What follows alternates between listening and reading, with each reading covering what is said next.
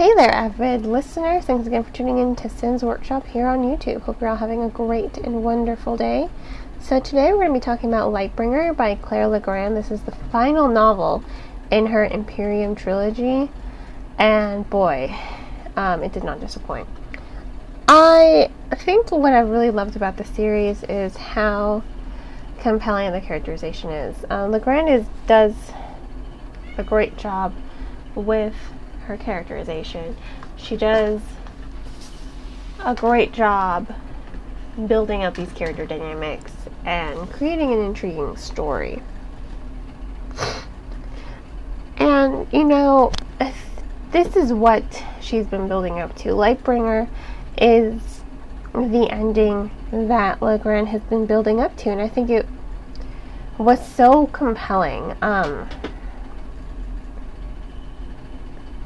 but you know, as much as I love the characters, we'll talk a little bit more about the characters in a little bit. But I want to talk a little bit about the story.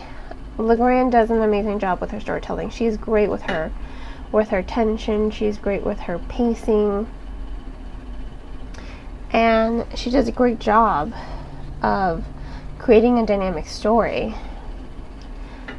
There are a lot of perspectives going on. You know, first of all, if you've been reading the trilogy, you know that Legrand goes back and forth between Riel and Eliana, and those point of views are separated by a thousand years, so their worlds are completely different than you know the reader would expect them to be. They are so different, and the reader already knows that Riel is the Blood Queen. You know that's how King's Kingsbane starts out she's the Blood Queen.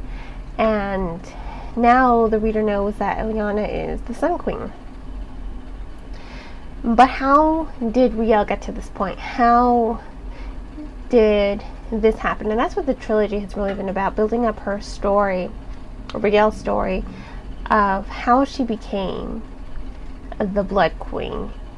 So, any reader has been on this journey with her, and gosh, it just it makes it such a well-rounded story. Because she's just going back and forth between these perspectives. In some ways, it could be jarring because the reader's going back and forth, but it really flows. You know, Legrand does a great job of ensuring that her story flows. And she doesn't make she does a good job of making sure that these perspectives matter. I just read a book that included a perspective that added absolutely nothing to the story. You could have got done away with it. But in this novel, what Claire Claire Legrand does is she uses these perspectives to give the story a well-rounded scope. We know what's happening with Riel. We know, we know what's happening with Eliana, but what about the world around them? So she uses these perspectives to capture um, what is going on in the world around them, how things are changing because of them. And she also includes um,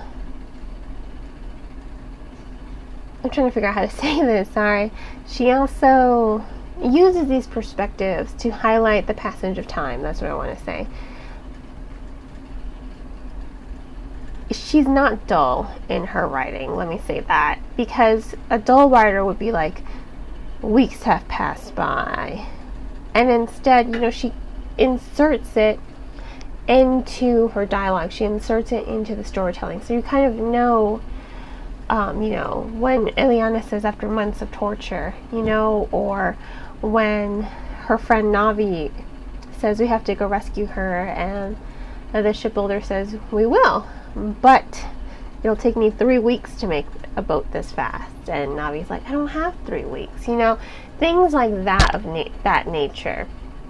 Legrand just kind of subtly inserts it so that the reader kind of so that the reader is aware of how much time is passing. And she does the same thing with real story. She just kind of slips it in there so that she keeps the momentum of her story going. She keeps the pacing going. She's not distracting the reader by making them wonder how much time has passed. She's not distracting the reader by slowing down the pacing to point out how much time has passed. You know, that's really what Legrand does, what her biggest strength is. Her biggest strength is really in highlighting this strength and highlighting um, on, on staying focused on the story. That's what I want to say. She stays focused on the story. She keeps the momentum up. She keeps the tension up. She keeps the pacing up. So you're just engrossed in the story. I mean, at 600 pages, it doesn't feel like it. It you're just like blowing through it.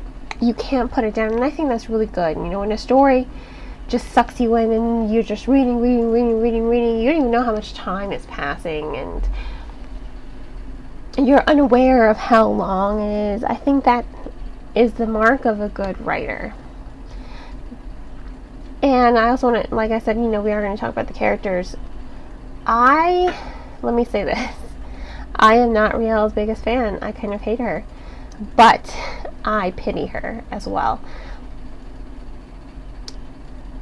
Legrand does a great job of inciting emotion in the reader. She does an excellent job. She makes you hate them, she makes you love them, you love them, and you hate them. And I think that just showcases how these characters, not, none of them are black or white, you know, they're all shades of gray, and I think that's really really realistic. I think that's very um, relatable because they all make a lot of decisions that you don't agree with, but you can understand why they made the decisions. Like Ludivine, you understand why she did what she did, why she keep why she kept her secrets. However, it didn't work out for her, clearly. And you, in hindsight, you kind of just want to shake her and be like, no, you did the wrong thing. You know, she keeps trying to defend herself, and you understand why she's trying to defend herself for her decisions. At the moment, when you were, if you were reading this novel, these these novels, you understand that at the moment her decision seemed wise. You weren't really thinking long term. You were just thinking in the moment, just like Ludivine. I think she was more engrossed in this is what's best for the moment, and then it just kind of got away from her. And that can be said for all the characters. They all do what they think is best at the moment, or they say things they don't mean because of their emotions.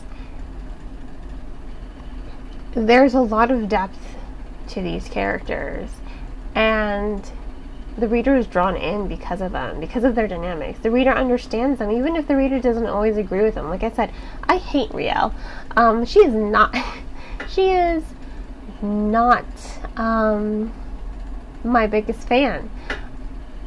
I I think maybe not my biggest fan. I'm not her biggest fan. Let me say that. Let me correct my grammar right there. Um, yeah, no, Riel is terrible. She does a lot of unforgivable things in this novel, especially. She's drowning in her anger and her guilt and her grief and resentment. And I may not like it, I may not like her, but I understand where she's coming from considering I've been on this journey with her. She tried so hard. She tried so hard to be what the people wanted. The Sun Queen. She tried so hard to be good for them, but nothing was ever good enough for them. There was always this fear of she's the blood queen, she's the blood queen. Instead of just trying to push her to be the sun queen, you know, to give her that love and adoration that she's been lacking for most of her life um, since she was a child. Her father, he he did love her in his own way. However, after the loss of her mother, he really put up this wall between them. And lacking the love of a parent really does jam- damage an individual. So, like I said, you know, I hate Riel. I'm not her biggest fan. She does a lot of unforgivable things in this novel, but at the end of the day, she still has my sympathy. She still has my pity because you saw the struggle.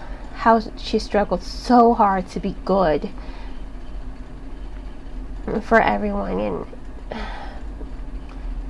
you see why she ran into the arms of Corien at the at the last novel because he loves he he does love her unconditionally. Um, well, not unconditionally. He does have some conditions, but the conditions aren't restrictive to her as a as a person and her power.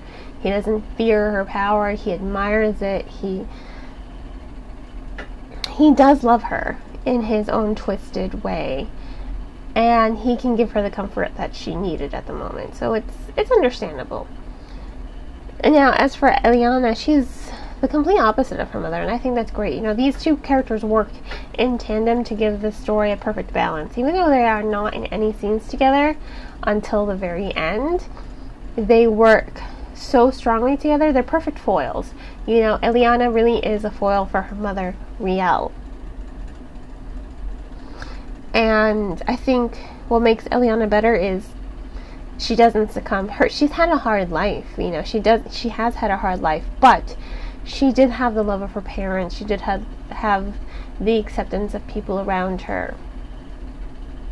So you can kind of see uh, how their upbringing shaped them as individuals. How Eliana really is the Sun Queen, and how she doesn't let her power blind her. She doesn't let her anger blind her. She remains strong and good, and she remains the, the Sun Queen. So I think that's really good. How Legrand is able to create such captivating and compelling characters in this novel. You hate them and you love them and you pity them and you want to smack them. You know, if a story inspires the reader to have an emotion, I think the author did a really good job. And I think Legrand did an excellent job with this novel. It was a great conclusion. And at the end of the day, you know, it left me with hope in my heart.